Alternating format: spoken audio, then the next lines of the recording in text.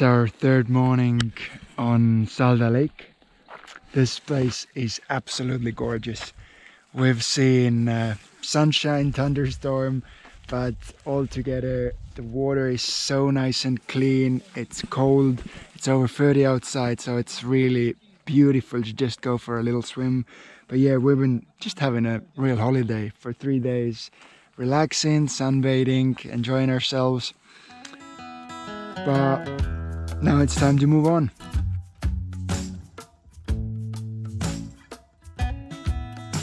We were just driving to the next town and on the way we saw a van that's broken. A, it's a Turkish guy and uh, we're gonna try to give back a little bit and take him to the next gas station.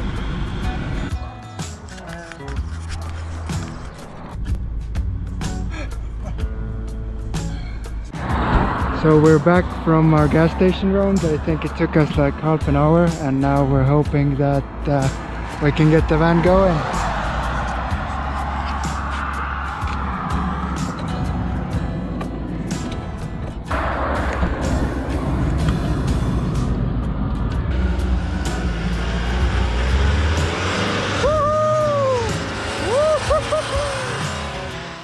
It is unreal.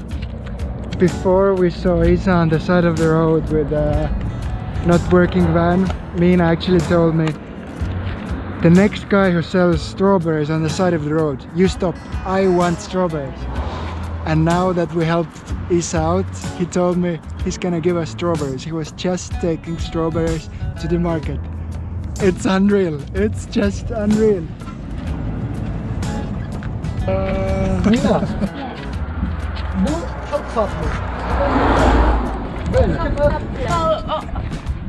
That is too much. Take, take this one. Bu da bu da. Lisa. Bekle ben çalıştırayım. These are the best strawberries I've ever had. Absolutely.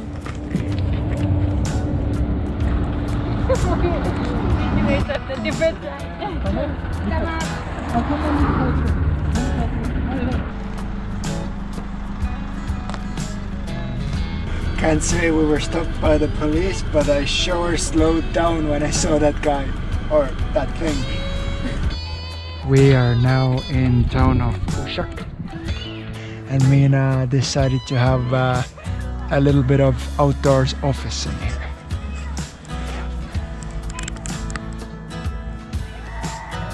So Isa just called us, and we're at the local park, and um, Ben seni nereden arayacağım? we have no idea what he's talking. Oh, who is Isa? Who is Isa? and now this local guy is translating what Isa told uh, told us over the phone. Come on. gel. Bu tarafa gelin. Biraz daha gelin. Tamam. Tamam. What is really happening? Zamanlaman harika. Isa ordered us foods, and the delivery guy didn't find us in the place anymore. Teşekkür ederim.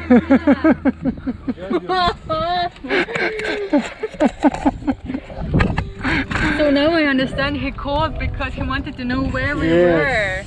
were. yeah. Absolutely crazy.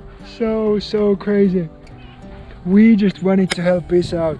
We saw him on the side of the road and we thought if we're gonna be on the side of the road, we would like somebody to stop. We stopped, we took him there, but it seems that whenever you try to help a Turkish person, you will receive those gifts or, or words of gratitude for I don't know how many years. Not only doubled, but they're like yeah, tripled and tripled then and probably tripled again. That's what Turks do. absolutely wonderful people. So generous, so kind.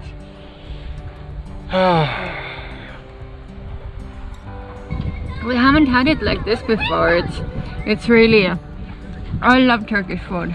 It's excellent.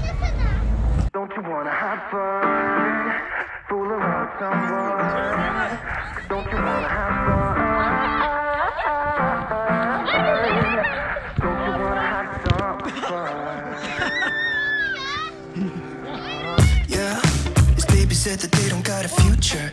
Future like God. It burns, so give him something worse to kill his head with. Make him forget somehow.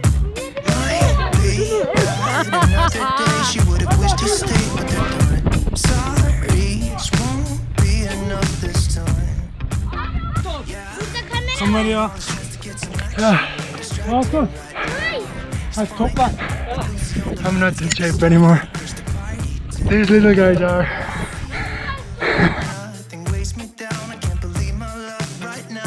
So we're now getting to the part of part of Turkey that's changed quite a bit over the last years. Before there was uh, roses around here, some fruit trees here and there, but uh, over the last years, uh, some villages in here have started gr- uh, growing lavender, and it's become a whole niche for them. So now, pretty much 90% of uh, Turkey's lavender comes from this area in here.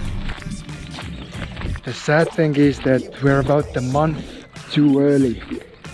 In the beginning of July, all of those big bushes they will turn purple, and that just looks amazing then. But you can already smell them. Actually, I'm gonna try something. I'll see if my uh, video editing skills can handle it.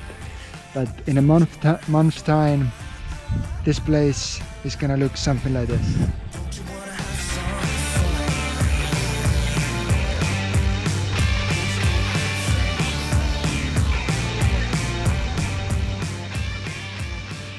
Although we made it here into this region too early for lavenders, then it's just the right time for roses. We've already seen people picking them.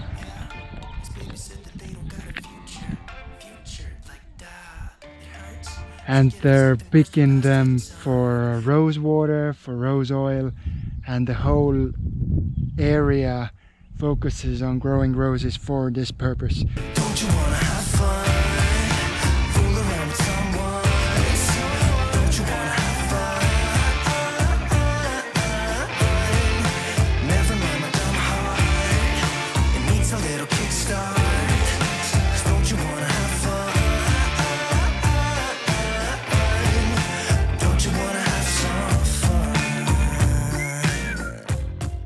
Those hillsides they all turn purple. All around me violet and purple instead of the green. It's the first time in Turkey when I think that man we're too early. We're really too early. But it is what it is. We're gonna move on. Today we were supposed to meet uh, Isa's family but sadly he has to work and tomorrow we have to work so that's not gonna happen. Miina already made a pie and now we are uh, just gonna drive by Usak where, where he lives and drop off the pie, say goodbye.